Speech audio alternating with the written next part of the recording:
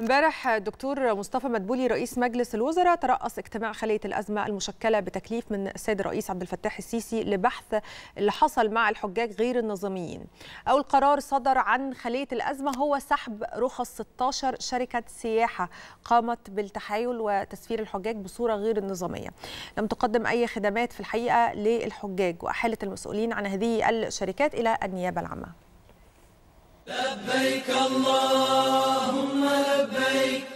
لبيك لا شريك لك لبيك إن الحمد موسم الحج السنة دي كان في عمليات استغلال كبيرة. العمليات دي راح ضحيتها عدد من الحجاج خلال أداء المناسك. توفي على إثرها عدد منهم فيما لا يزال آخرون مفقودين في الأراضي المقدسة.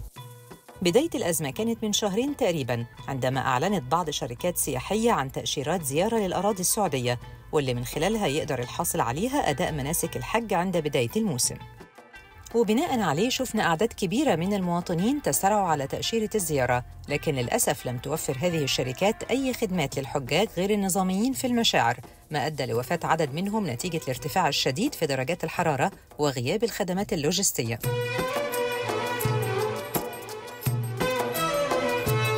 الرئيس السيسي أصدر توجيهاته بتشكيل خلية أزمة برئاسة رئيس الوزراء الدكتور مصطفى مدبولي لمتابعة وإدارة الوضع الخاص بحالات وفاة الحجاج المصريين.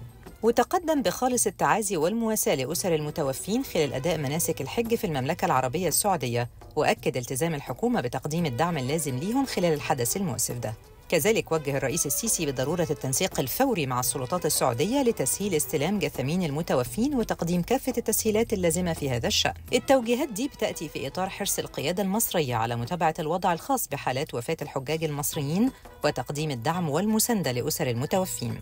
وفي هذا السياق أعلن الدكتور مصطفى مدبولي رئيس الوزراء تشكيل خلية عمل لمتابعة وإدارة أزمة وفاة الحجاج المصريين بناء على تكليفات الرئيس السيسي وامبارح كان أول اجتماع لخلية الأزمة وأول قرار ليها هو سحب رخص 16 شركة سياحية قامت بالتحايل وتسفير الحجاج بصورة غير نظامية ولم تقدم أي خدمات للحجاج مع إحالة المسؤولين عن هذه الشركات للنيابة العامة.